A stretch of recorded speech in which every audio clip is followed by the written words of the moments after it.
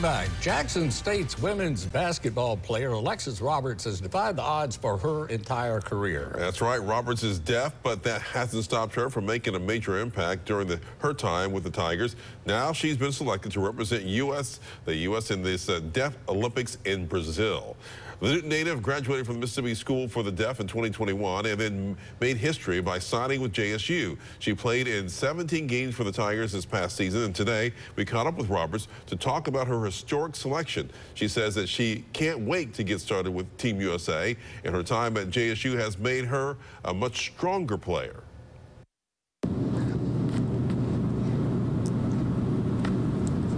So I was really surprised because I never knew that they would select me. But now that they've selected me, I, re- I feel really comfortable with them. I feel really comfortable with the, with the team. I've been training, and really, the coaches have been training me to make sure that I'm better every day. I continue to work hard. So JSU has benefited me greatly. This year's Deaf Olympics uh, are in May in southern Brazil. Yeah, good for Congratulations. yeah.